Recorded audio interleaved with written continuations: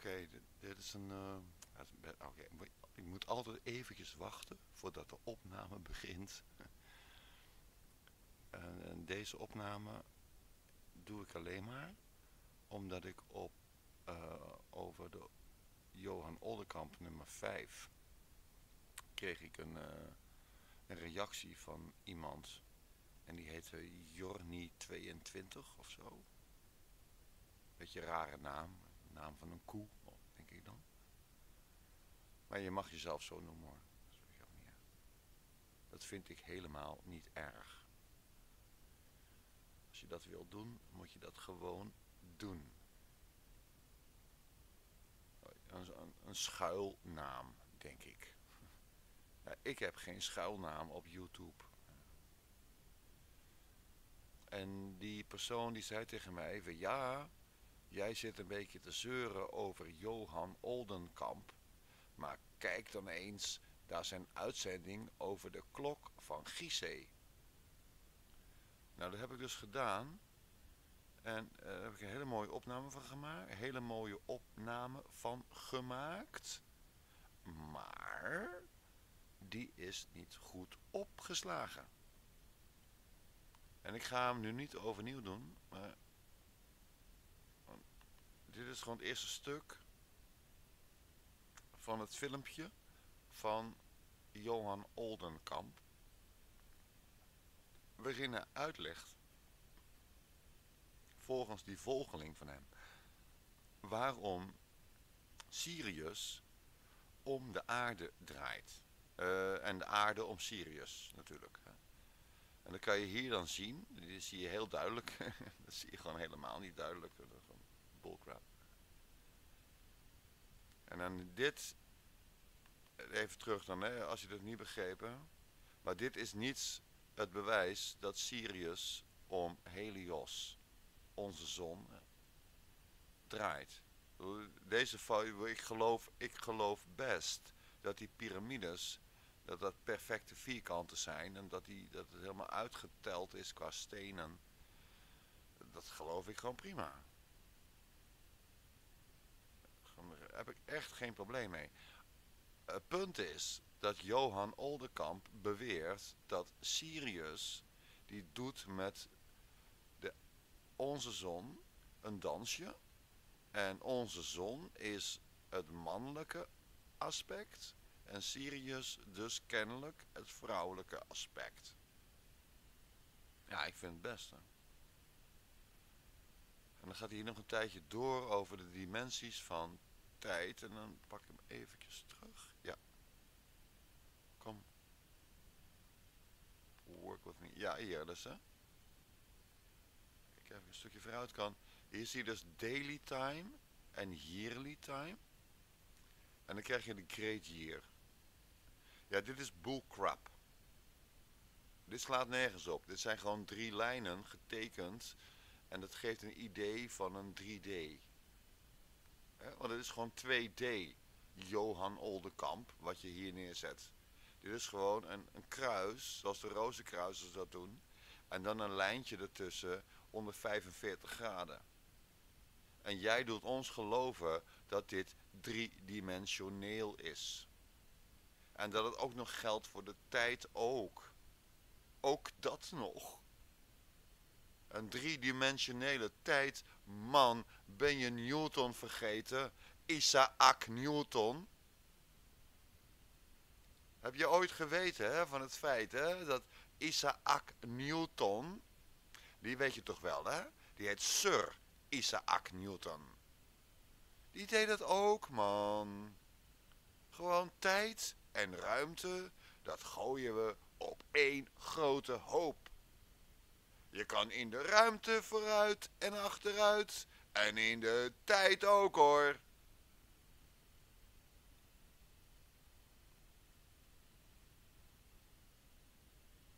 Dat is mijn kritiek. Hè?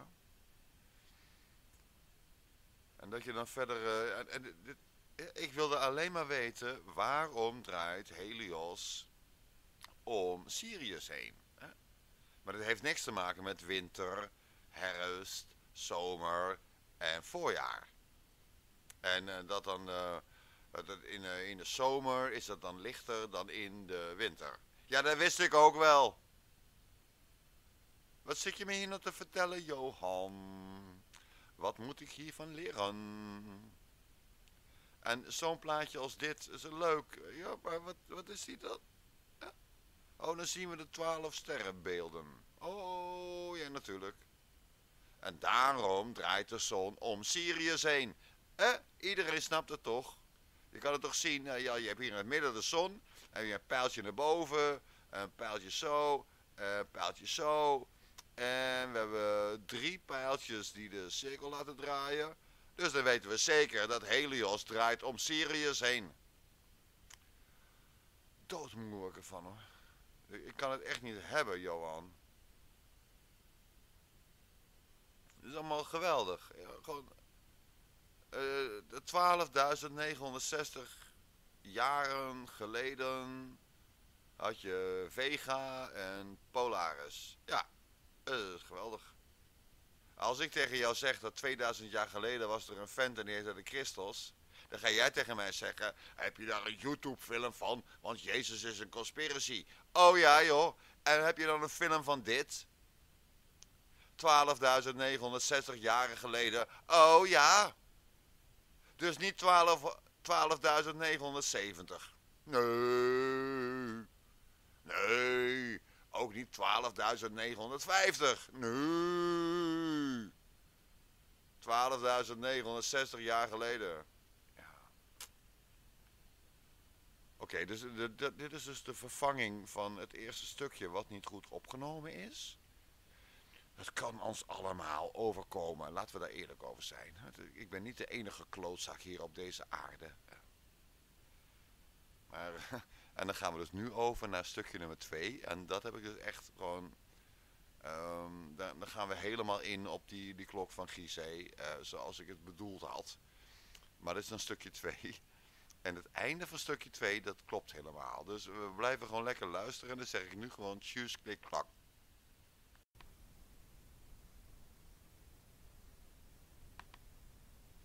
Ja, we pakken hem weer op. Um, dat sterrenverhaal. Ik zie ze echt niet. Die, die sterrenbeelden of sterrendingen. Ik zie gewoon een cirkel met twaalf lijnen. En een eh, stipje en het heet Helios of Terra. En er staat iets van 6 keer 6 keer 6 decaden.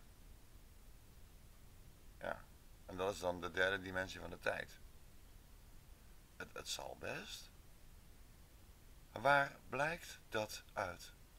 Dat is gewoon mijn vraag. En dan gaat Johan Oldenkamp, die gaat nog verder. En die gaat rondom dit punt iets heel grappigs zeggen. So we're somewhere here in the outer, outside of... Um... Dat is de eerste. Hij zegt, wij zijn, ik, hij heeft ook een pijltje, ik ook hè. Wij zijn ongeveer hier. Hoe weet Johan dat?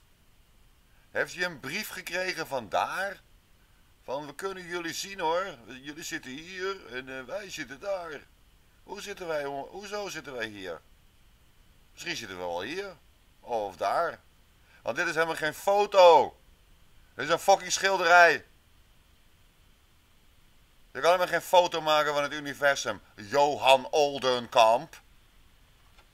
En dan een beetje lopen filosoferen over een foto van het universum. Nou, dan kijk ik nog liever naar die filmpjes van de NASA. Want daar kan je tenminste nog om lachen. Maar dit staat er helemaal nergens op, jongen. Hoezo zitten wij rechtsonder in het universum? En trouwens, is het het universum of is het alleen ons zonnestelsel? Nee, dit is ons, eh, ons melkwegstelsel. En hoeveel melkwegstelsels zijn er volgens jou? Of is het een verzameling van melkwegstelsels? Een of andere bespiegeling, man. En ik vind het best. Ik, ik vind het echt ontzettend goed dat je stilstaat bij het feit dat wij sterrenstof zijn.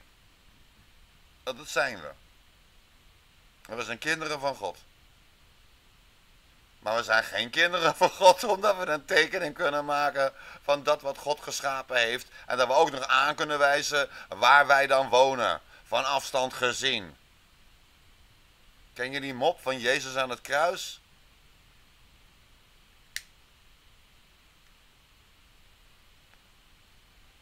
Laten we het vrolijk houden. Ik laat de Johan nog even. We zijn nog niet toe aan de film die ik moest gaan kijken van die Jorni 22. Want die Jorni 22 die zei, ja Perry, jij snapt er niks van, want je hebt die ene film nog niet gezien van Johan Oldenkamp. Nee, nog niet. Nee, maar even om duidelijk te maken waar we het over hebben. Our star system, our galaxy, yeah, the distance you can calculate in light years is about 26,000 light years, so that's remarkable. Yeah, this takes 26,000 years to go around, and the, the light also takes 26,000 years to travel from the center to reach us. So that's important to know. Actually, there's no real light in the center. It's, it's radiation that's coming our way, but it's, uh, it takes the same time. At least that's what we assume, so I'll continue assuming that. And then we go around in the, in the spiraling movement, in the, ring movement, screw movement, we go round, and the full circle around the center of the galaxy is more than 200 million years, 225 to 250. So that takes really a long. Kijk. En daar heb ik je, Johan. Want daar zeg jij letterlijk dat de rondgang van het universum dat duurt 225 tot 250 miljoen jaar. Dat betekent dat jij een bepaalde precisie kent op dat terrein, dus kennelijk. En waar blijkt die precisie uit? Hoe heb je dat vastgesteld? Hoe weet je dat nou? En hoe kan je nou weten... Kijk, het universum draait rond uh, in, in zichzelf, hè? Dus hoe kan, hoe kan je dan weten wat de totale omgangssnelheid of frequentie is? Dat moet je toch meten ten opzichte van een buitenwereld? Kijk, als jij in een draaimolen zit, Johan Olderkamp, dan weet jij, als je na zoveel seconden weer opnieuw naar de snackbar kijkt, waar ze die lekkere frikandellen verkopen, waarvan jij denkt, hmm, ik lust er wel een, maar ik zit nou in de draaimolen. En even later kijk je weer op je klok en je ziet weer diezelfde die, die frikandellenwinkel. Dan weet jij de frequentie waarin jij om de draaimolen draait. Maar hoe kan je nou de frequentie weten van het universum dat in de ronde draait? Want je kan voor de rest buiten het universum niks zien. Als het universum buiten het universum is, niks te zien. En je kan zeggen, ja, maar ons melkwegstelsel draait ten opzichte van... Oh man, maar hoe weet je dat dan? Hoe kan je dat nou weten? En hoe kan je dat zo nauwkeurig weten? Want pas op hè. Er zijn op het internet ook mensen en die zitten gewoon opzettelijk bullcrap. Onzin te verspreiden. En en ik zeg niet dat jij dat doet hoor Johan, want jij bedoelt het waarschijnlijk hartstikke goed en dat hoop ik vanuit mijn hart. Maar laat het niet te veel gaan lijken op bullcrap. En ga mensen niet vertellen dat er allerlei zekerheden zijn die er niet zijn. Want jij weet het helemaal niet.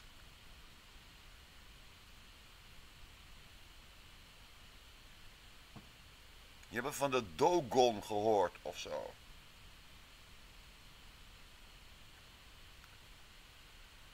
Een of andere man uit India, of weet ik wel wat.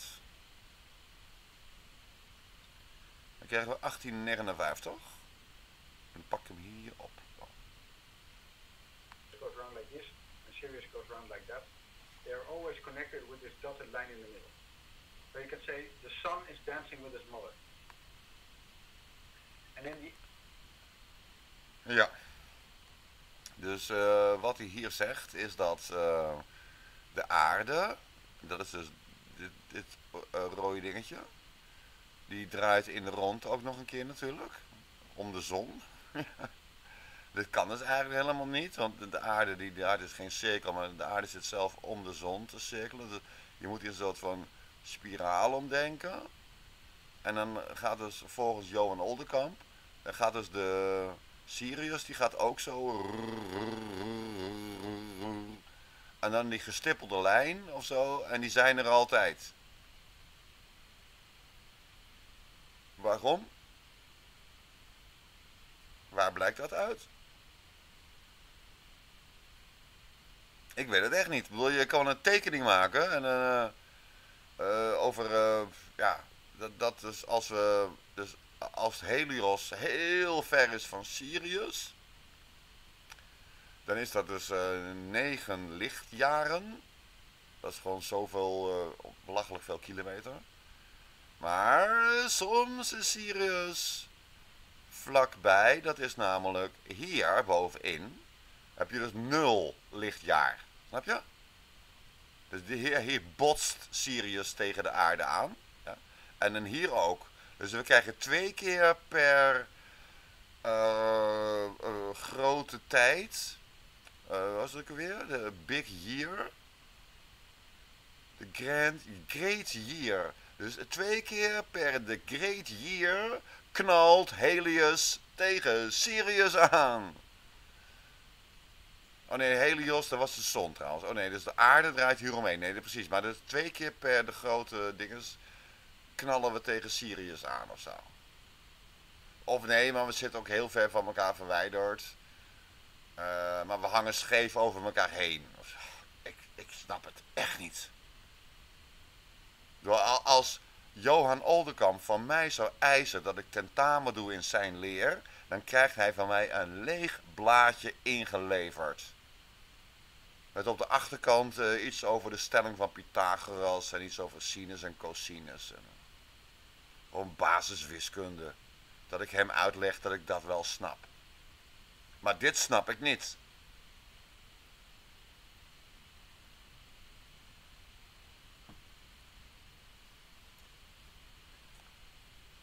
Nou, we hebben dus uh, over die negen lichtjaar, staat hier onderaan. We hebben nog veel bonter. Dan krijgen we 250, dus dan laat ik hem eventjes doorlopen. Iron ja? Age, Sun, Helios and his mother Sirius are furthest apart. And that has consequences for our consciousness, because this is also... Oh, dit hoorden jullie ook, hè? Dus Sirius, dat is onze moeder. Echt. Want Wa waarom is Sirius de moeder van onze zon? Ah, dat zou ik niet weten. Kind of giving energy to the sun, Helios, and that energy is coming to us in the form of sunlight. And the more energy. Oké, dus de, de Sirius die geeft de energie aan onze zon. En die zon van ons, die geeft die energie in de vorm van zonlicht. En dat heeft Johan Oldenkamp vastgesteld in een experiment uitgevoerd bij het uh, Algemeen Instituut voor de Algemene Natuurkunde. Of zoiets. En wanneer dan?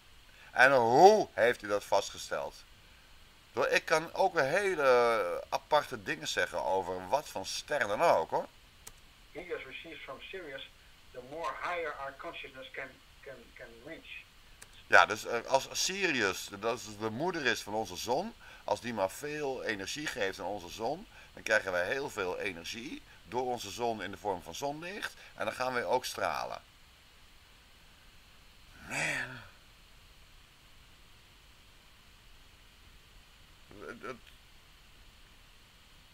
Ik ga het even een stukje vooruit doen. Ik heb er bijna geen woorden voor. En, dat, en dat terwijl ik, uh, er zijn heel veel dingen van Johan Oldenkamp waarvan ik denk, ja, dat is best wel prima, ja. Then in the golden period is the opposite. Then the distance between Sirius and our sun Helios is closer of whole, year. Ja, dat is niet. Want hij is niet, niet op dit moment, heb je dat gouden tijdperk. Nee, dan heb je op het moment dat Sirius hier zit en Helios ook. Want dan botsen ze tegen elkaar aan, snap je? Of als deze twee cirkels boven elkaar heen draaien, dan, dan zitten ze dus hier. En daar is de gouden tijd. Ja, of, of, of ik snap niks van wiskunde en afstanden leren, weet je wel? Dat, dat, ik het helemaal niet begrijp. Dat ik denk van, waar zit ik naar te kijken? Maar volgens mij kijk ik naar een plaatje van twee zonnen. Twee sterren. En die ene, dat is een ster, dat is Helios. Nee, dat is een zon, dat is Helios. En die andere is een ster dat is Sirius. En die draaien dus hun eigen cirkeltje. En het ene stukje dat noemen we dan uh, goud. En het andere stukje noemen we ijzer. ja, zal allemaal wel. En waarom botsen ze hier niet? Maar goed, we zijn niet aan 250. We gaan er daar mee ophouden, want ik kan ik er echt niet meer tegen. Yeah, six and a half thousand years. And in that period, yeah, consciousness of humanity rises to a peak. That's here, and then it goes down. But it's still really high. And everybody fully understands the nature of the universe and how everything works. People don't need to be educated because they already know. Yeah, people just practice and, and put it into uh, existence.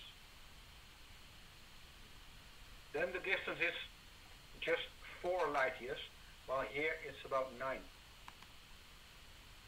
Nou, die hoorde je dus ook. En dit is dus gewoon niet waar. Want het is hier dus inderdaad vier lichtjaren, we, als we het model van hem aannemen. En dan zal het verder wel uh, ja, negen zijn, zal wel kloppen.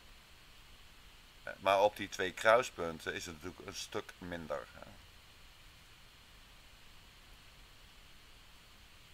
Of ze komen elkaar nooit tegen. Dat is, dat is misschien wel het superlange jaar. Dat kan natuurlijk ook. Dat ze eigenlijk altijd een beetje bij elkaar uit de buurt blijven. En dan eens in de zoveel miljoen jaar, dan gaan ze botsen of zo. Ja, ik vind het allemaal geweldig, hè? Maar het zegt me niks.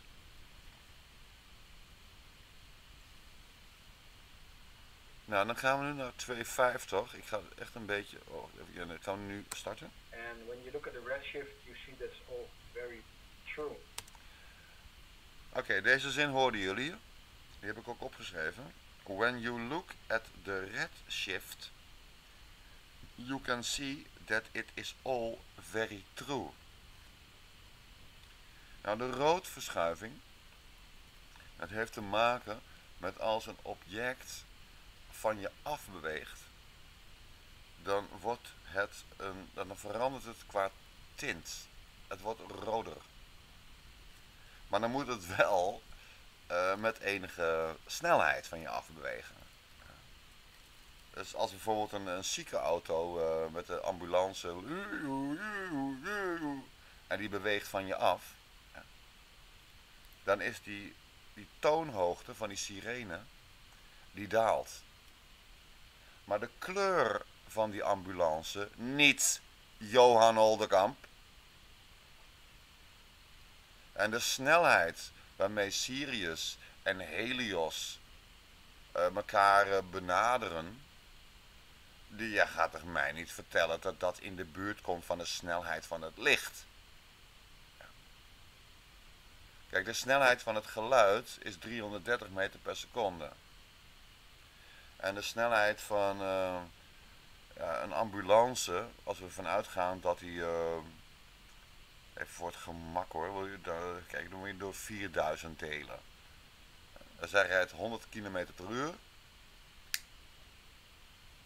De derde wordt 4000. En dan krijg je dus uh, 100, uh, 100.000 gedeeld door 4000. Dat is 100 gedeeld door 4. Dus dat is 25 meter per seconde. Dus als een ambulance met 100 km per uur voorbij raast, dat gaat met 25 meter per seconde. Nou kijk, dat komt in de buurt van de geluidssnelheid. Dus dan krijg je dus een verschuiving in de waarneming van het spectrum. En dan hoor je die ambulance zakken in toon. Maar het licht gaat met een snelheid van 300.000 kilometer per seconde. En met die snelheid komt Sirius op ons afdenderen? Oh, ja joh.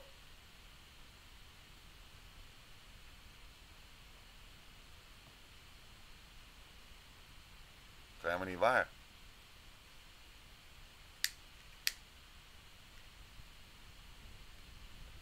Wat ze waargenomen hebben is dat Sirius, dat is een dubbelster.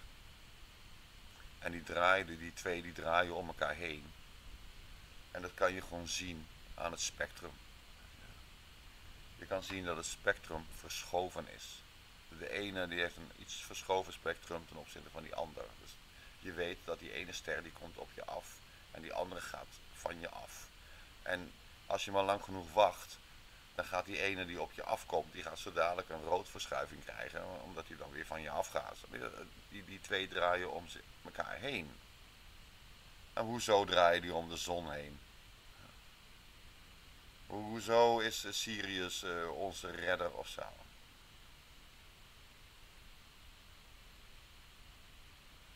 Maar Johan Olderkant die weet het allemaal nog veel beter dan ik. En daarom heb ik ook al die vragen aan hem. Star. So now she should be called the Blue Star. Yeah? Not sure if this related to the blue and the red Katrina. I don't know that story well. But I know that Sirius is coming closer and closer until here. And then she will start becoming uh, moving away again. Kijk, hij weet dus, Sirius komt alsmaar dichterbij. Met wat van snelheid, Johan? Dan maak je een beetje duidelijk. Hoeveel meter per seconde komt Sirius momenteel op ons af? Maar hij kan zeggen dat hij dat weet. Ik, ik vind het best dat hij dat weet. Waarom niet? Ik wil hem geen kennis, ik wil Johan, Johan, ik wil jou geen kennis ontzeggen. Maar hoe weet je dat? Of moet ik voor eeuwig jouw voeten kussen, net als de paus in Rome of zo? Ja, Johan Oldenkamp heeft het gezegd, dus het is waar. ik vind het niet bevorderlijk, uh, Johan. Ik, ik vind het echt niet fraai hoor, wat je hier doet.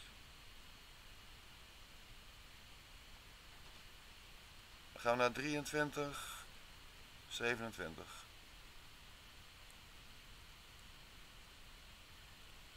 Ik start hem hierop, ja. Age is always from Scorpio until Leo.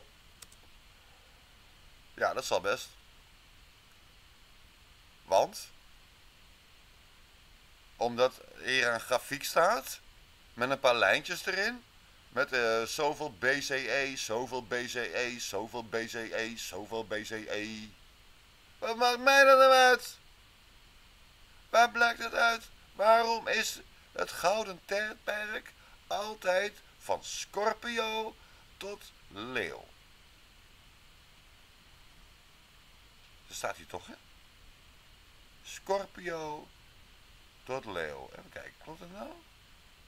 Want daar staat maagd. Want ik kan het ook niet echt goed lezen hoor, maar... Wat, wat, wat, wat staat hier nou eigenlijk?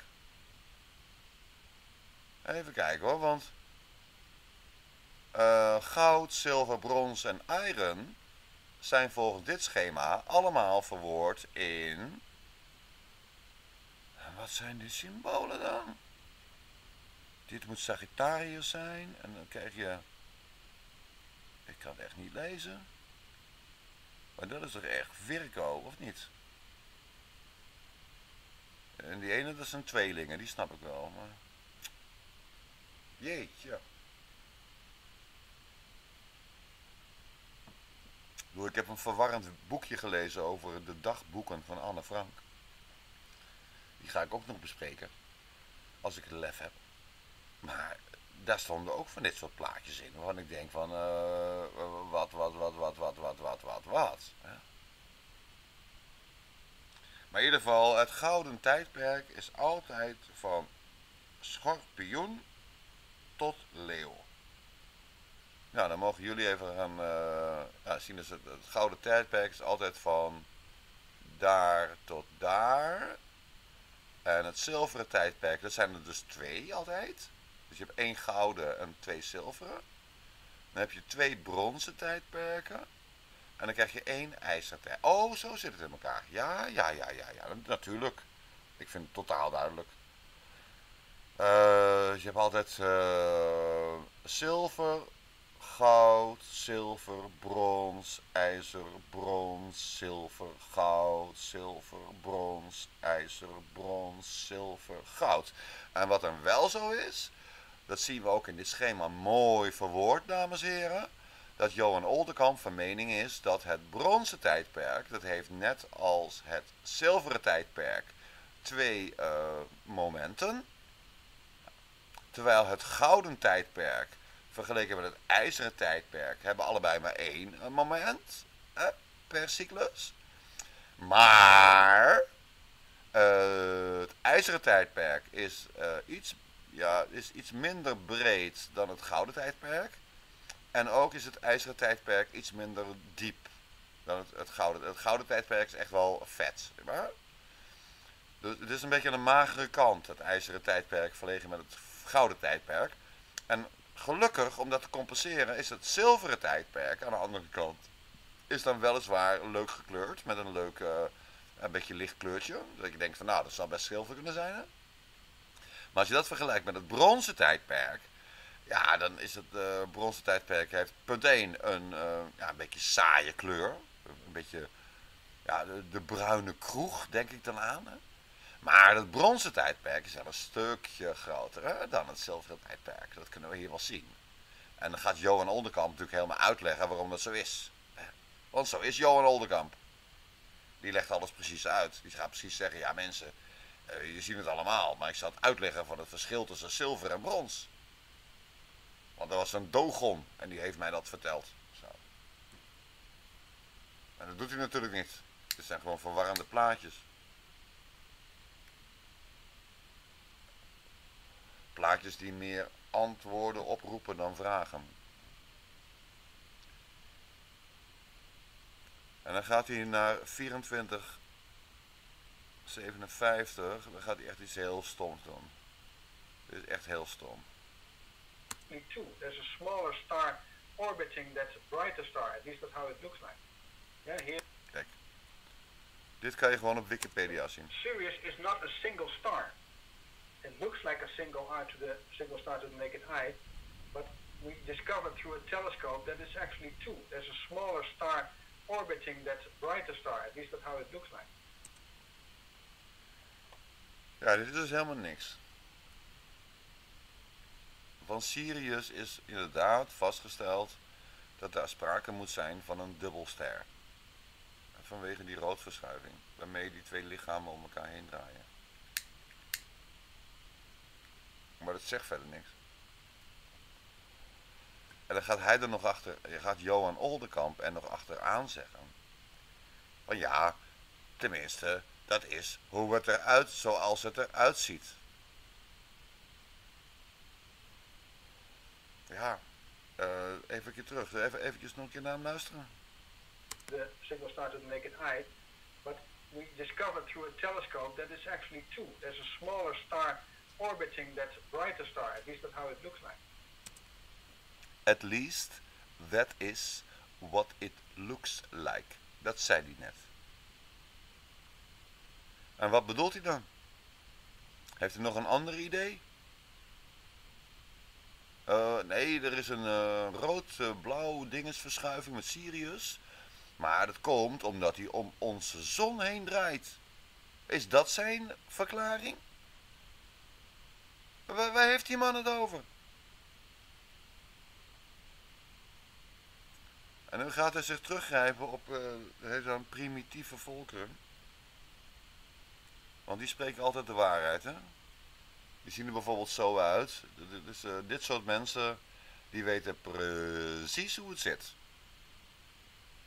En wat zeggen ze dan allemaal volgens Johan Oldenkamp? Nou, luister maar even. Hè. Dit soort mensen, die hebben dus die telescopen gemaakt waarmee ze naar Saturnus hebben gekeken. Dat kan je wel zien. dat heeft hij net gezegd. Hè? We gingen telescopen maken en dan gingen we allemaal kijken naar Sirius en zo. En, maar deze mensen hebben dus Saturnus al gezien. En die hadden gewoon ontzettend goede ogen. Primitive, who live in, in the, currently in the western part of Africa, northwest Africa, um, called the Dogon, they knew everything about Sirius long before we uh, were able to see that through the telescope. And much more details as well. They knew about the ring, uh, rings of Saturn and the moons of, uh, of Jupiter. Kijk, hoor dat? Dus de- deze mensen die wisten al van eh, dat Sirius was een dubbelster. En die eh, heeft dus een, eh, een afstand tot de aarde van 9 lichtjaar. En stond maar 4 lichtjaar. Dat wisten zij al. Maar ze wisten ook van de ringen van Saturnus. Dat de, en eh, ja, dat, dat konden ze gewoon doen. Eh, ja, ze hadden hele goede brillen of zo. Of, eh, in Afrika heb je heel weinig lichtvervuiling. Dus ze konden alles, ja, misschien was het daar wel door. Dat gewoon, gewoon een beetje blowen tot diep in de nacht en op je rug liggen en naar de sterren kijken. En dan zie je gewoon Sirius. En dan zeg je tegen je wijf: Zeg kind, dat is een dubbelster. Ik zie een roodverschuiving. En de ringen van Saturnus, die kan je ook gewoon zien. Of de, ja, dat is allemaal bekende kennis. Waarom, ja, wij doen allemaal heel ingewikkeld met onze telescopen. Maar deze mensen, volgens Johan Holdekamp, die wisten alles al. Die vertellen het gewoon. Sirius is een dubbelster en die draait om ons heen. Dus wij zijn een driedubbelster. Hè, dus we hebben dus eh, Sirius A, Sirius B. En wij draaien om Sirius A en Sirius B heen. En we knallen er nooit op. En dat gaat gelukkig altijd goed. En deze mensen, die wisten dat lang geleden al. Net als de ringen van Saturnus.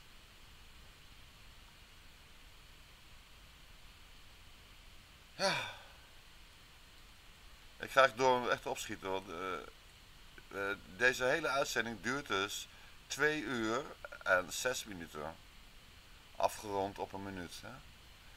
Nou, dit is een plaatje van Afrika en daar zit dus die Dogon. Hè? Dat je die blauwe pijl goed volgt, dat je snapt, eh, kijk, oh, maar natuurlijk, daar zitten de Dogon.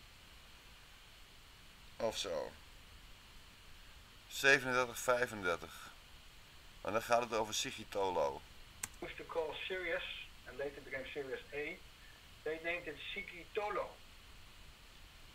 And they named the smaller one Potolo, which is actually a combination of a small seed, Po, and a star. So this is a small seed. And indeed it's very small because it's even smaller than our own planet, smaller than Terra. But it's extremely bright. So how could they have known this? They have names for both things we just rather recently discovered. They, they know this for many, many generations, probably thousands of years.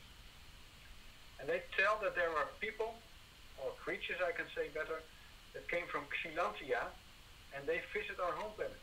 And Xilantia is orbiting a third star in the middle.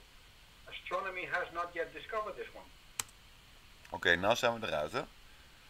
Dus wat, we, wat Johan Oldenkamp nu toegeeft. Onderin zie je dus Sigitolo. Dat is Sirius A, zegt hij zelf. Hè? Rechts zie je Potolo. En dat is Sirius B.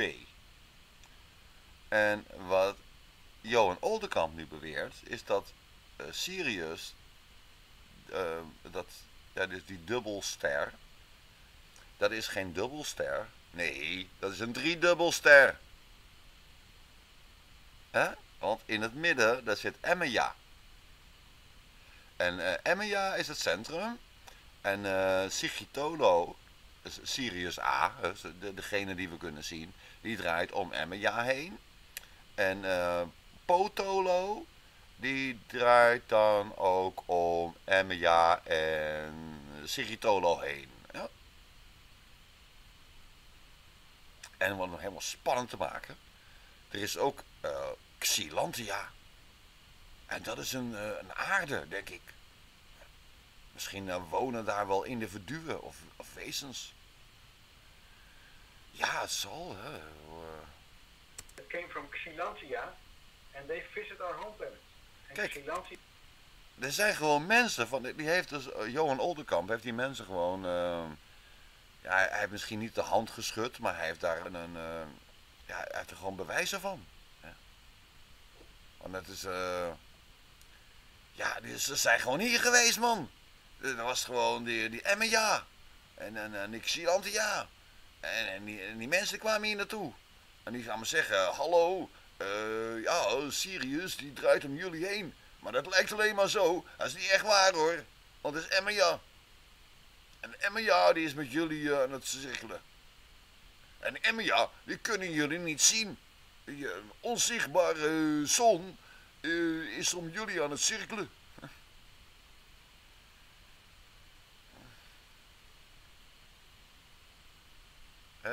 ik vind het allemaal, ik, vind het een geweldige bespiegeling hoor. En het is ook heel leuk om je kinderen voor te lezen voor het slapen gaan.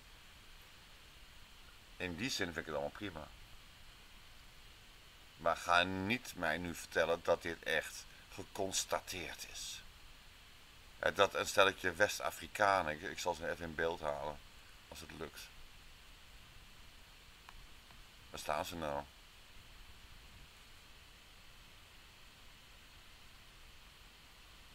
Zijn ze nou, die Dogon kon ze daar in beeld en we er echt niet op. Maar, maar goed. Deze waren het niet. Nee.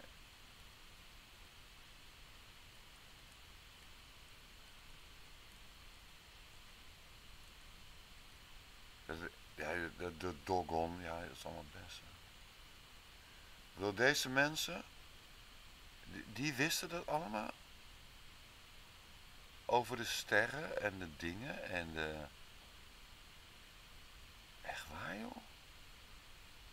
En Johan Oldenkamp heeft dat allemaal vastgesteld. Dat deze mensen, die hadden geen telescopen nodig. Die wisten alles vanuit zichzelf, zo. Want ze kwamen uit het westen van Afrika. En er zijn boeken over geschreven. Over de Dogon. Ja,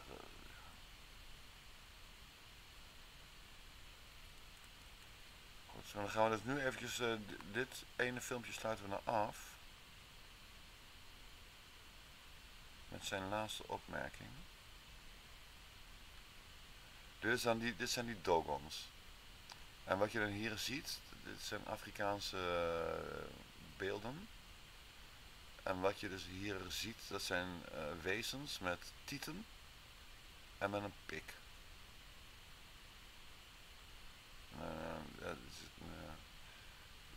In het, op zijn Engels, oh, heidens noem je dit op zijn christelijk. Dit zijn heidense, heidense dingen. En je ziet het terug bij Baphomet. Uh, Baphomet, dat is bij die, die westerse heidensheid. Is Baphomet, heeft dus ook uh, tieten en is duidelijk een kerel.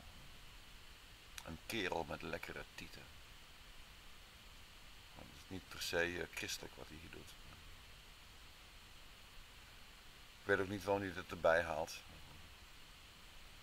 Ik weet niet wat het ermee te maken heeft. We hebben het toch over uh, dat Helios uh, kennelijk rondjes draait rondom Sirius. En samen met Sirius, de hondster, zijn wij een soort van onderdeel van het middelpunt van het universum of zo. En dat wil ik best geloven. Maar dan ga ik toch niet zitten kijken naar een paar houten beeldjes van uh, uh, tietenmannen met een pik. Of uh, wijve kerels met een lul. And this called androgynous, or and they were also amphibious in the sense that they resembled a little bit like uh, like the dolphin. Can also, also call them the dolphin people. Ze waren amfibie? Squeeze me! Zij konden onder water ademhalen. Wat? De amfibiemens? Oh, dat is leuk. dat is geinig. Wat heeft dat te maken met Sirius? Oh, deze mensen hadden niet alleen tieten en een lul. Nee, ze konden ook onder water ademhalen. Of zo. Wat kan een kikker eigenlijk? Nou, misschien verzuipt een kikker wel, maar een kikker is toch een amfibie. Deze mensen konden zowel lopen als zwemmen. Ja, Johan Oldenkamp, ik hier aan deze kant van de microfoon, ik heet Perry Franciscus Martinez Winkel, ik kan ook lopen en zwemmen. Je mag ook een foto van mij op je pagina zetten. En zeggen, dat is een foto van Perry Winkel. Die kan lopen en zwemmen. En Sirius strijdt om onze zon heen. Wat is er van bewijsvoering, man? Waar ben je mee bezig?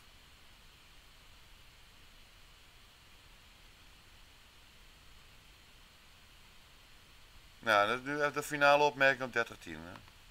So why would they make this up? Precies.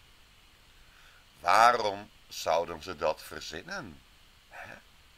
Het is toch uitermate logisch dat als je dit soort beeldjes ziet, dat je dan zeker weet dat Helios een rondje draait met Sirius. Eh, te meer dat je aan de linkerkant kan zien, dat is een eh, wood sculpture bij de Dogon en die was van de 17e eeuw. Nou, dan ben je toch fucking eh, overtuigd. Want waarom zouden ze dit anders gedaan hebben? Oké, dus deze show notes die, eh, die zijn al klaar. En dan gaan we dus nu over naar het kritiekpunt. En dat was de uitzending die ik moest kijken van die vrouw. En heb ik jullie laten zien. Van kijk eens naar over de klok van Gizeh. Dus, nou, ik- ik ben ook niet de lulligste, dat, dat doe ik gewoon. Hè. En eh, ik laat gewoon even het begin weer horen. Mijn internet is een beetje. eh, ik, ik sta te uploaden. Hij is bijna klaar. Over acht minuten heb ik weer eh, een beetje internetspeed. Dan beginnen we gewoon met Johan. Hallo, mijn naam is Johan Onderkamp. Welkom bij de eerste Nederlandstalige aflevering van Pateo TV. Tot jullie gebracht via CCN. En dat ga ik zo uitleggen. Wat ik nu ga doen is ik ga dit scherm waarin jullie mij groot kunnen zien verkleinen tot een, eh, een klein venstertje eh, rechtsboven in je scherm. Ja, ehm, ik moet hier. Ik heb het niet voorbereid, deze opmerking. Maar dat Johan hier nu gaat vertellen dat hij zijn screencast, dat hij zijn scherm gaat veranderen. Dat hoeft hij niet aan te kondigen. Hij kan het ook gewoon zonder meer doen. Doe het maar. Bedoel, dat- dit is generatie internet of zo. Of hij is er waarschijnlijk een uitzending aan het doen voor bejaarden. Waardoor die allemaal heel eng vinden. Van, oh Johan Oldenkamp verdwijnt in een klein scherpje. Oh, straks is hij dood. En dat hij denkt, nou mensen, ik ga jullie geruststellen hoor. Ik ga zo dadelijk in een klein schermpje verdwijnen, maar niet in het echt. Ja. Ja, er komt dus een ontzettende bak reclame. En dan gaan we eventjes, gewoon, even- ik ga random, weet je wel. Gewoon, dit is nog steeds reclame. We gaan, ga even luisteren. En je kunt gewoon kijken of het je wat is eh, door de eerste twee hoofdstukken aan te schaffen voor maar 5 euro. En die krijg je dan eh, toegestuurd. Het is een eh, een e-book, het is digitaal. En je kunt het dus vanaf je scherm lezen en doorheen bladeren. Het voordeel daarvan is dat het allemaal in kleur is. Er zitten heel veel, bijna alle afbeeldingen. Het voordeel daarvan is dat het allemaal in kleur is. Ja. Dat is een hele goede reclamespreuk. Overigens, eh, zijn werk Holly Science, dat heb ik hier thuis liggen. Ik heb het uitgeprint. Het is niet zo heel gek hoor. Eh, echt wel iets om te eh, bestuderen. Vooral over muziektheorie kan je er veel lezen. Maar oké, hier zit dan het begin van dus die uitzending die ik gezien moest hebben over de klok van Gizeh. En het gaat dan allemaal over eh, die, die piramides. En die, die geven dan een bepaalde tijdsaanduiding aan in verband met Sirius of zo. En dan wil je gewoon weten hoe het zit. hè. En die uitzending duurt al- alleen maar twee uur, dus in principe zou er zo doorheen kunnen zijn. Eh, het is mij gelukt om de uitzending te bekijken tot 24 minuten 12. En toen had ik er echt genoeg van. Ik vind gewoon dat als je iets te vertellen hebt, dan moet je het gewoon zeggen. En dan mag je spelfouten maken, je mag eh, boertjes laten, je mag de hik krijgen. Maar je moet gewoon zeggen wat je wil zeggen. En dat moet gewoon je punt zijn. En dan niet van tevoren niet zo beginnen als... eh, eh, ik ga nu een verhaal houden met hele belangrijke dingen. En weten jullie van onbelangrijke dingen? Nou, ik zal iets onbelangrijks noemen. Bla bla bla bla bla bla. Dat vind ik onbelangrijk. En eh, wat ik nog eens onbelangrijks noemen. Bla bla bla bla bla bla bla bla bla bla. Dat vind ik ook onbelangrijk. En dan ga ik zo dadelijk iets belangrijks vertellen. En trouwens, weet je wat ook onbelangrijk is? En zo dadelijk ga ik het over belangrijke dingen hebben. Dat was doodvermoeiend, dat soort praat. En ik vind dat Pateo Media dat het echt uh, borderline bezig is op deze manier. En ik vind het helemaal niet erg. Maar ik wil onderbouwing. En niet een zoveelste YouTube film met allemaal gebabbel. Over piramides in het zand. Ik weet heus wel dat er piramides zijn in Egypte. Want dat geloof ik heus wel, Johan Oldenkamp.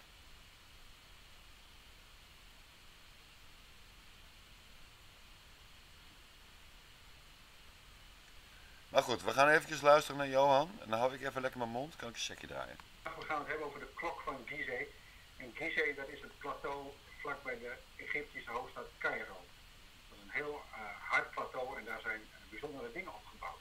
Onder andere de piramides, de Sphinx. Dit is alweer 21 jaar geleden. Misschien herken je me niet, maar dat ben ik toch echt. Ehm, ik was toen op vakantie in Egypte en ik heb me daar laten rondleiden, maar helaas wist ik niet wat ik op dit moment allemaal hierover weet. Want had ik denk een nog veel interessantere vakantie gevonden dan toen. Uh, ik walk je like an Egyptian, dat was toen een hit van de Bengals.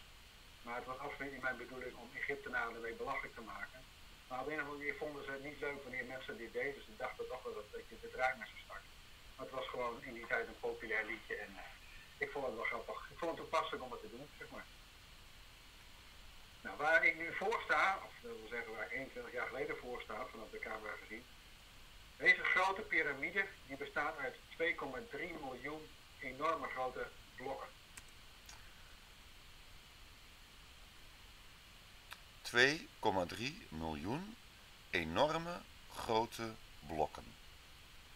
Ja, dat wel best. De piramides zijn volgens mij niet gemaakt van naakt slakken slijm.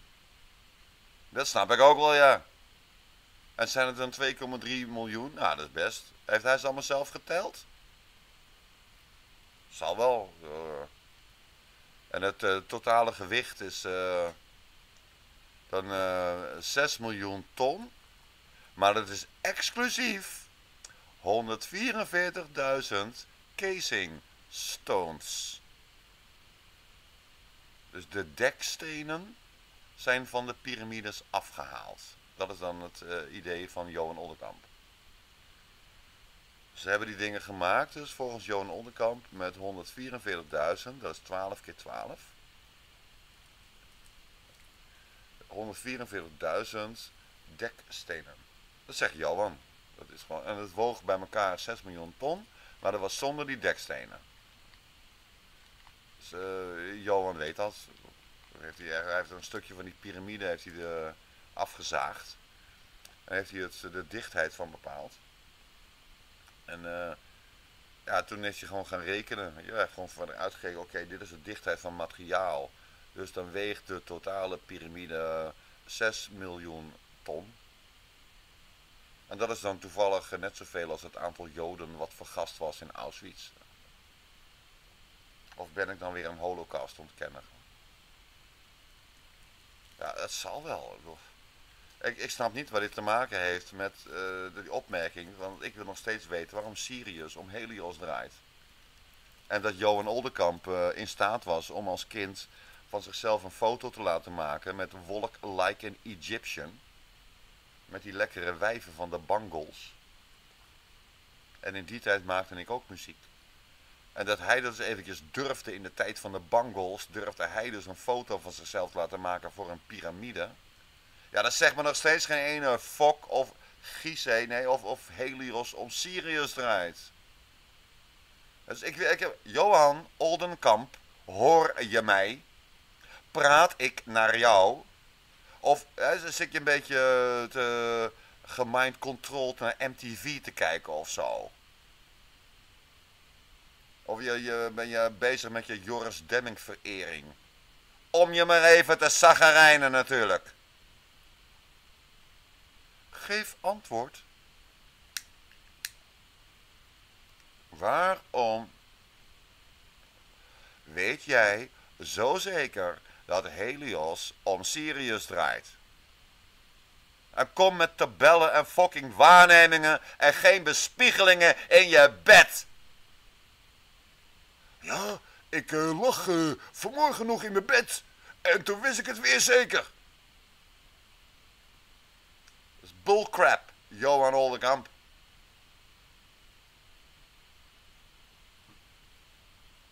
Geef antwoord, kortom. Ik heb gewoon een vraag. jij oppert uh, dingen en ik vind het allemaal best. Maar ik heb daar wel een vraag bij. waarom zit je deze dingen te vertellen op het internet?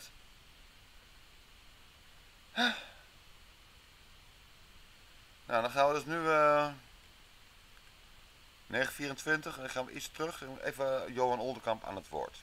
Een artikel uh, op het internet gezet, ging op poteo.nl. En daar op een linkje waarin duidelijk wordt aangegeven dat die blokken allemaal gemaakt zijn. Op maat gemaakt. Zoals wij het nu ook doen met betonblok. En het totale gewicht van een enorme bouwwerk, wat een van de zeven wereldwonderen is. Ja, gaan we even terug. Waarin duidelijk wordt aangegeven dat die blokken allemaal gemaakt zijn. Op maat gemaakt. Nog een keer.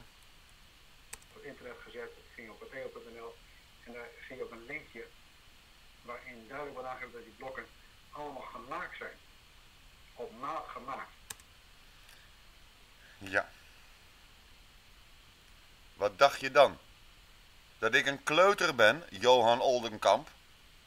Denk je dat ik geloof dat ze die stenen voor die piramides allemaal toevallig gevonden hebben in de oerwouden van donker Afrika? Natuurlijk zijn die dingen op maat gemaakt. Vertel gewoon hoe die piramides in elkaar zitten. En vertel gewoon wat er van apparaten zijn. Want er waren machines. Om het ego te vernietigen. Geen uh, space uh, machines of zo.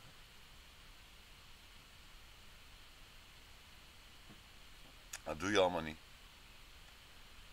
En dan ga je vertellen over die dekstenen. Zoals wij dat nu ook doen met betonblok. En het totale gewicht van een enorme bouwwerk, wat een van de zeven wereldwonderen is, die nog steeds recht overeind staat en waar nog helemaal niets aan, nou een klein beetje aan veranderd is, maar de essentie staat er nog steeds. Uh, dat ding weegt 6 miljoen ton. Dat is onvoorstelbaar zwaar. En er waren, en dan hebben we nog niet eens de, de dekstonen meegeteld, maar er waren ook nog 144 dekstonen. Maar de Egyptenaren hebben die eraf gehaald. Nee, niet 144, maar 144.000. En het waren hele zware piramides. Oh, oh, oh, Johan. Kijk, toen ik vroeger, hè, toen ik klein was, hè, toen, was ik heel erg speels altijd. Hè. En dan heb ik dus uh, met, uh, het, heette, het was een bepaald soort hout. En dat was het hele lichte hout. En daar kon je gewoon prima vliegtuigjes van maken. En dat was super licht hout. Nou, daar zijn die piramides niet van gemaakt. Lul, die zijn van steen gemaakt. Zie je dat niet? En dat, ze, uh, via, dat het een cementenconstructie is, ja, dat lijkt me nogal wieders. Anders moet je al die steentjes één voor één uh, met een bijteltje. Gaat ook niet echt wat worden. Denk je wel?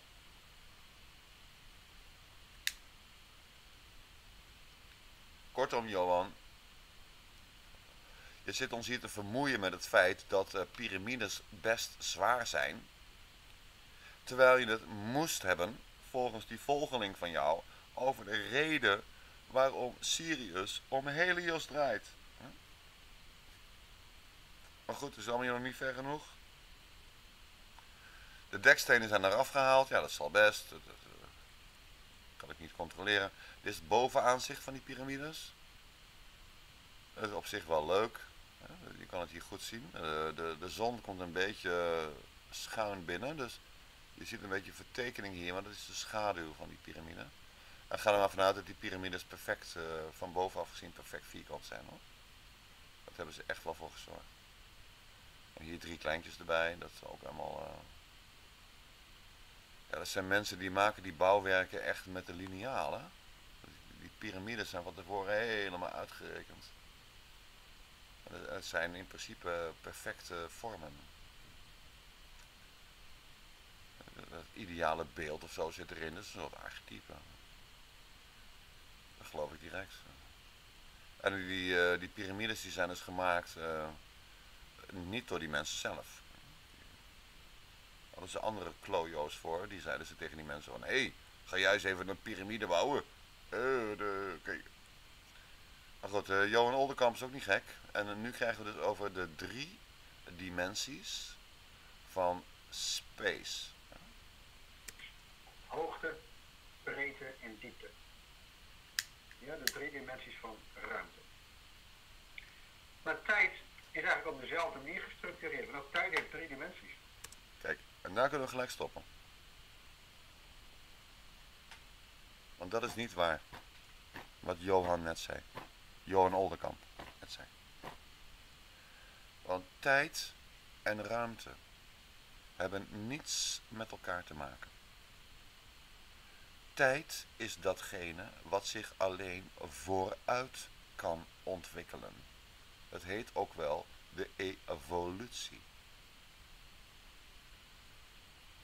Alles ontwikkelt zich.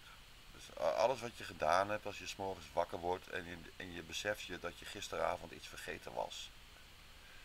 Ja, dat moet je dan maar zien op te lossen. Je kan dat niet ongedaan maken. Je kan, je kan sorry zeggen, maar zelfs als je sorry zegt, heb je het niet ongedaan gemaakt. En dat is tijd. In de ruimte.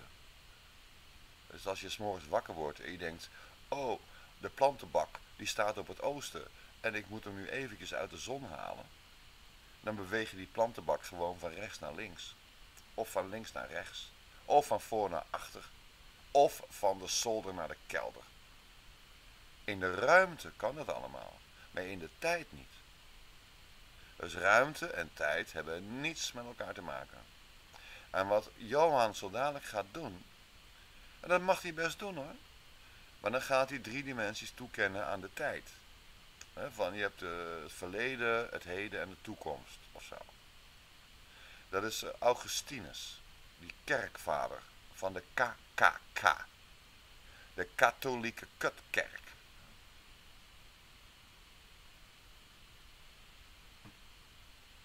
En dat slaat allemaal, ja, dat is allemaal best. Dat is allemaal leuk dat je dat vindt. Van ja, oh, je hebt het verleden, je hebt het heden en je hebt de toekomst. Dat zijn de drie dimensies van de tijd. Dat kan je wel zeggen, jongen. Maar wat heb ik eraan? Dan word ik er wijzer van. Weet ik daarom dat Helios om Sirius draait?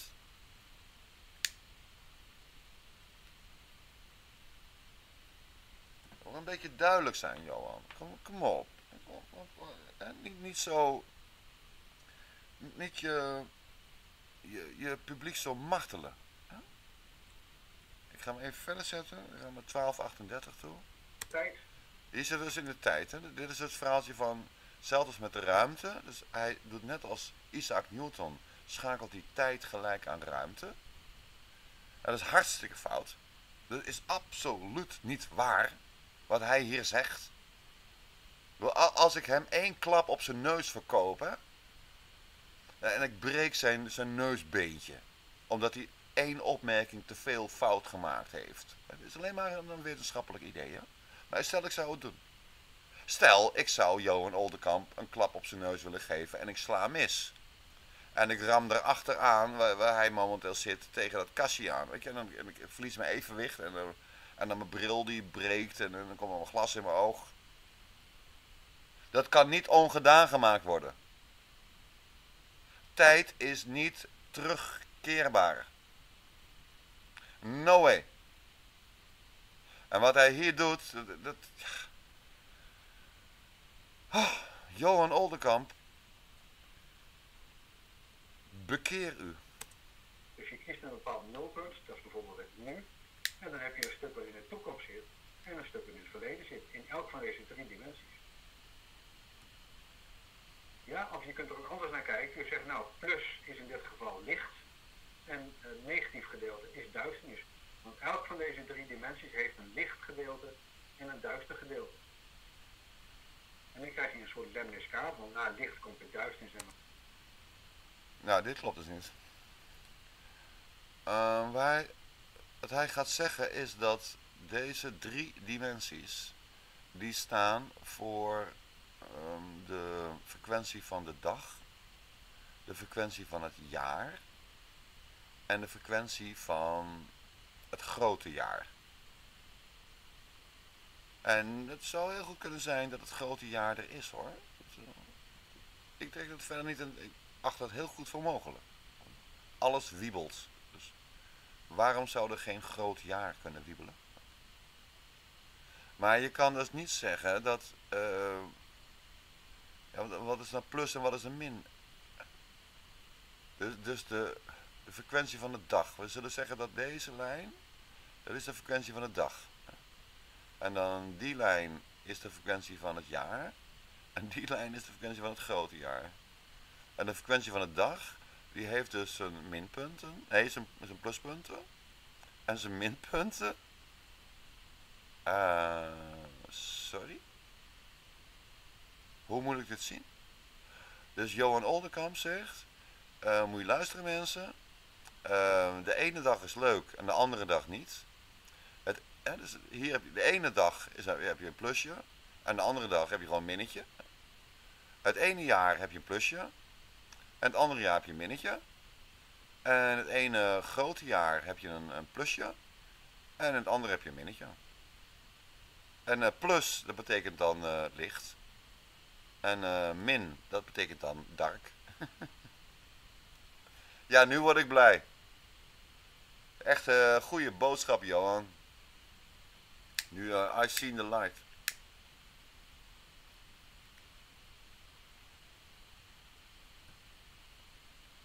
Je, zit een beetje ingewikkeld te doen over, over dingen Oh, oh ja, een hele goede vraag aan jou, Johan Oldenkamp. In uh, Auschwitz, in deze 3D-tekening van jou, hè? Waar zit Auschwitz ongeveer? Uh, is dat gewoon, uh, is het Auschwitz naar hier ongeveer? Of is Auschwitz daar? Of is Auschwitz meer hier? Of is Auschwitz juist... Oh, Auschwitz is natuurlijk helemaal onderin. Hier zit Auschwitz, volgens jou. Dat is de verklaring van Auschwitz. Dat is gewoon helemaal geen toeval dat er Auschwitz ontstaat. Ben jij gek? Dat is gewoon normaal. De ene dag is het leuk, de andere dag niet. Het ene jaar is het leuk, het andere jaar niet. Het ene eon, of een grote jaar is het leuk, andere niet. En als het allemaal bij elkaar komt, heb je gewoon Auschwitz. En dan gaan er gewoon Joden dood. En hele gezinnen worden er kapot gemaakt. Het zijn toch stomme kutjoden, hè?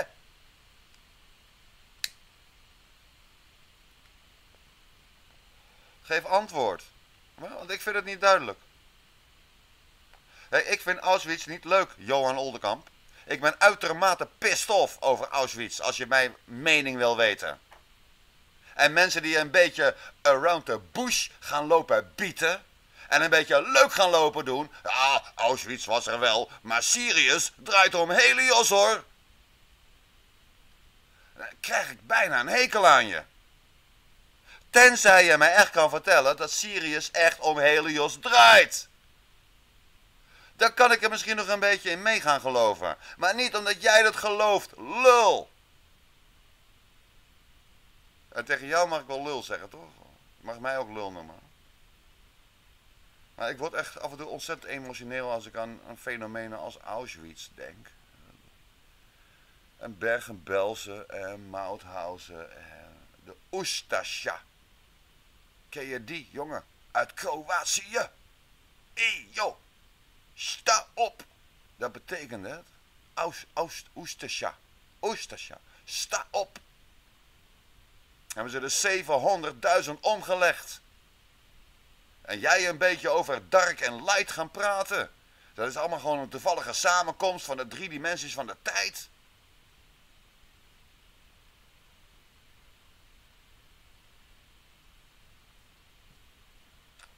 Ik ga ervan uit dat je alles goed bedoelt, Johan Oldenkamp.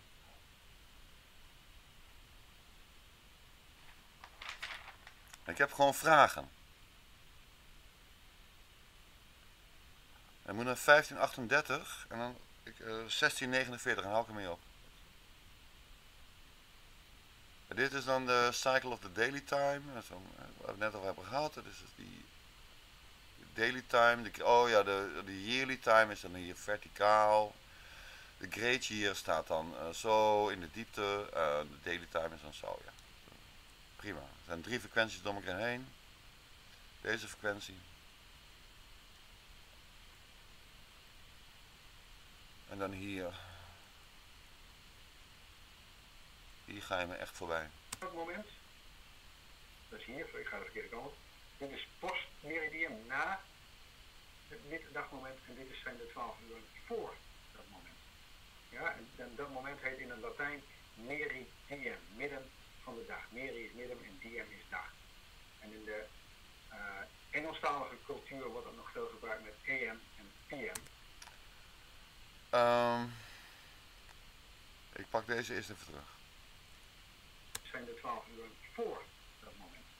Ja, en, dat moment heet in het Latijn meridium, midden van de dag. Meri is midden en diem is dag. En in de Engelstalige cultuur wordt er nog veel gebruikt met AM en PM. In de Engelstalige, wat zei hij nou?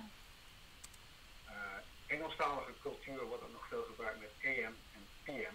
In de Engelstalige cultuur wordt dat nog veel gebruikt met AM en PM. Jezus mijn Christus. Dus ik begrijp dus nu dat Helios die draait om Sirius heen, of andersom. Maar Sirius is dus een driedubbelster. Want je hebt dus die, die uh, dingen waarvan ik de naam even vergeten ben. Nou, want je hebt Sirius A, Sirius B en je hebt Vet Afnam of zo. F, F Anam of V eh, weet ik veel. Maar die, die, die ster die we niet kunnen zien. En die drie sterren die draaien om ons heen. Omdat ze in het Engelstalige taalgebied spreken van AM en PM. Johan, schaam je. En waarom heb je die klokken verkeerd opgehangen? Waar ben je mee bezig, jongen?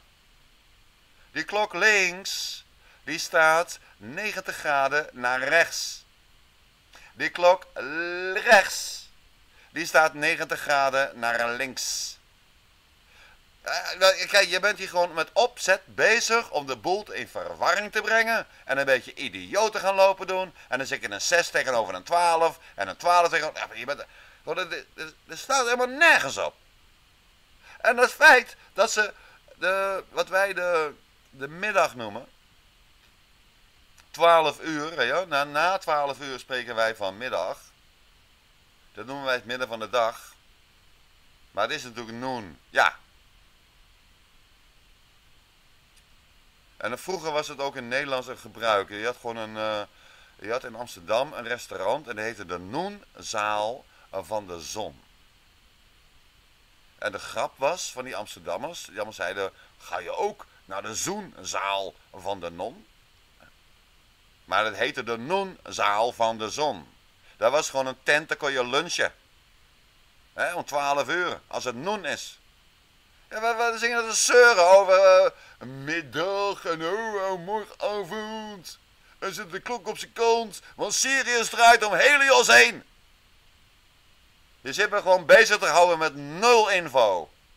Ik weet ook wel dat ze een dag ingedeeld hebben in 24 uur. En ik weet ook wel dat een, dag een jaar ingedeeld wordt in 365 dagen. Dat hoef jij maar niet te vertellen.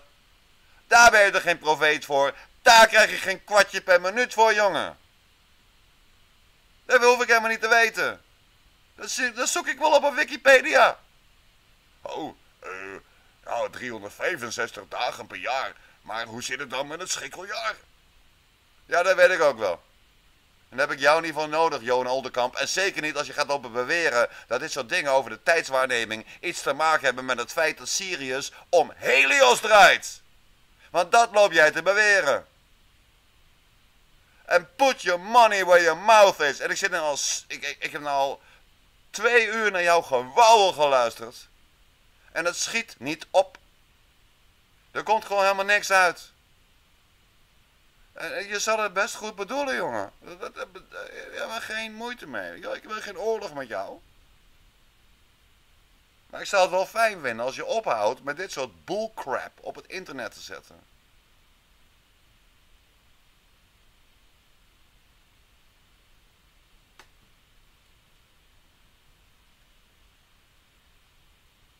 Ik moet even tot rust komen. Ik, ik ga ermee stoppen. Dit was 1749, want dan hou ik het echt niet vol.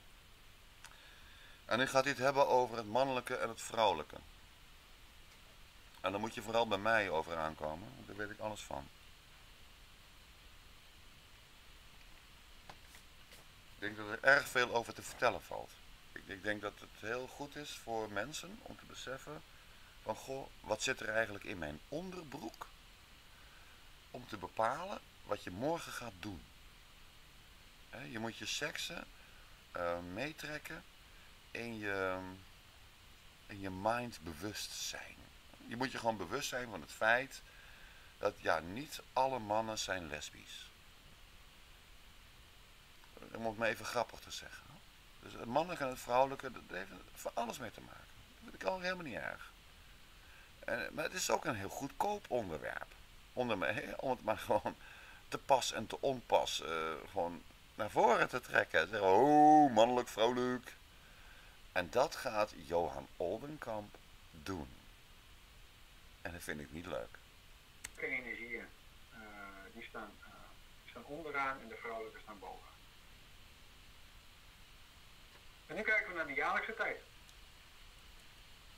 Uh, die staan, staan onderaan en de vrouwelijke staan boven.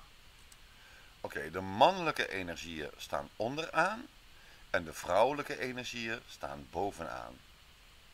Zien jullie het ook? Is toch in één keer duidelijk? Ja, Johan Oldenkamp, die heeft dus een, uh, een energiemeter. En die, dat is, een, uh, dat is een, een, bipolaire energiemeter. Die, die, kan die, gewoon, die stopt hij gewoon in de anus of zo van mensen. En dan zegt hij gewoon... oh, mannelijke energie. Oh, vrouwelijke energie. En dat heeft hij dan gedaan op verschillende tijdstippen van de dag. En heeft hij ontdekt dat dus bepaalde mensen die dus de ballen in de buik hebben ja, die hebben die vrouwelijke energie, vooral in de, in de ochtend en in de avond. En dan uh, degene die de ballen dan afgedaald hebben, die hebben dus die mannelijke energie in de nacht en in de middag. Ja. En hoe ver zijn wij op dit moment in het betoog van Johan Oldenkamp verwijderd van Sirius? Want Sirius ligt volgens Wikipedia toch echt op ongeveer 9 lichtjaar afstand. En een lichtjaar, dat is een aantal kilometers, dat wil je niet weten. Heel ver. Maar Sirius kunnen wij uh, zien. En die draait dus om ons heen. En die komt dus naderbij en uh, ja. gaan we allemaal om Sirius heen draaien of zo. En dan uh, kunnen we nog botsen tegen Sirius. En, Maar ik zou echt niet weten waar. Ja. Ik, ik vind het niet aardig om te zeggen dat. dat ik dit gewauwel in de ruimte vind. Maar het is het wel. En beter. Ja, luister niet eens naar mij die hier kritiek op geeft. Tenzij je wil weten waarom dit gewauwel in de ruimte is. En Johan Oldenkamp, die mag mij gewoon een reactie geven en die mag mij uitmaken voor een stoephoer. Hij mag de NSA op me afsturen. Maar dat heeft geen zin, want die zit al, die zit al in mijn nek. Dus daar heeft hij ook niks aan. Hij mag me een vraag stellen. En uh, als, ik, als ik ooit, uh, ik heb nu het, dit is de laatste uitzending over Johan. Hè? Behalve natuurlijk dat ik een reactie kan geven denk dat het nodig is, maar in principe is dit de laatste uitzending. En als ik Johan Oldenkamp ergens eh, gewoon echt beledigd heb, of mensen die zich verbonden voelen met de groep van Johan Oldenkamp of zo, dan wil ik bij deze zeggen sorry. En dat meen ik hardgrondig. Het had in principe niets met jullie of Johan Oldenkamp te maken. Ik ben geïrriteerd over bepaalde aspecten van deze samenleving zwaar geïrriteerd. Ik ben dusdanig geïrriteerd dat ik, ik heb al gewoon geïnformeerd over hoe ik aan een wapen kan komen. zo geïrriteerd was ik. Ik heb dat niet doorgezet hoor. Er was een Marokkaan en die, die zei, oh nee, ik, ik jou wapen geef, ik jou lever, ik jou... Er, er kwam allemaal niks van terecht en toen dacht ik van ja, wat een gezeur met die Marokkanen ook, laat maar zitten. En daarna was er een, een, persoon uit Bosnië en die zei ook, ja, voor jou verjaardag. Ja, dat, dat, dat lukte ook allemaal niet. Dus ik, heb het ook maar opgegeven. Ik, bedoel, ik, heb niet, ik ga niet echt een wapen doen. Maar zo geïrriteerd ben ik wel.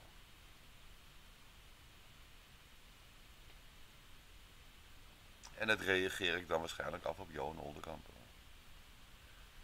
Ja, hij irriteert me ook een klein beetje. En dat is toch gewoon horen en wederhoren. Dus uh, ja, ik heb nu mijn zegje gedaan. Dus uh, uit Johan Oldenkamp kamp. dat vind ik wel grappig. Uit Johan Oldenkamp kamp hoeft mij niet meer te vragen om nog meer, nog meer te kijken naar de klok van Gissé in het Nederlands. Want dat is allemaal bullcrap. Dat zijn klokken, die zijn nog op een kantje gedraaid, een beetje met driehoekjes erin. En dit kan ik ook maken op een, regenachtige zondagmiddag. En dat AM antemeridium betekent en dat het before midday is. Ja, dat wist ik, lul. Dat wist ik al vanaf mijn tiende of zo. En mijn dochter, die, die ja, ook ongeveer. Dus eh, ja, voor wie zit hij dan les te geven? Kinderen van vier. Nou, kinderen van vier, EM is antemeridium. Nou, dat is weg. Is uh, geen ding. En, en in liefde, met, ook met Johan Oldenkamp natuurlijk. En al zijn volgers. Zeg ik gewoon, uh, ja, gewoon tjus, in vrede. En ik hoop van harte dat er een reactie komt. Doeg!